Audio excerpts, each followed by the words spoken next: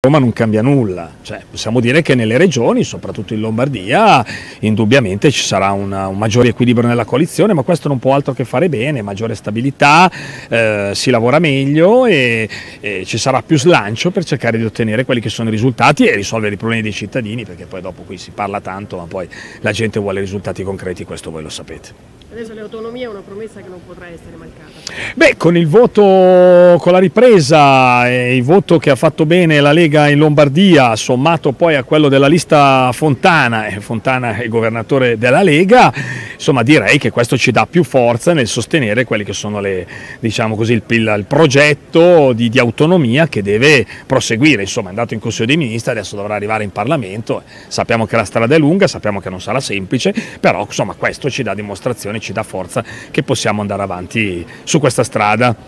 Le, le, opposizioni hanno perso tutte, però in particolare il terzo polo che in Lombardia comunque aveva espresso un suo candidato, Moratti, che puntava forse un po' a, a scardinare dei voti dal centrodestra, eh, ha comunque eh, portato a casa un pugno di mosche, diciamo. Ma guardi, io ripeto, la Moratti è una persona che stimo, l'ho sempre detto, la conosco personalmente, l'ho vista all'opera, eh, dispiace nel senso che secondo me è proprio sbagliato, eh, più che altro anche perché l'avevamo anche messa in guardia dicendo attenzione perché chi rinnega il proprio passato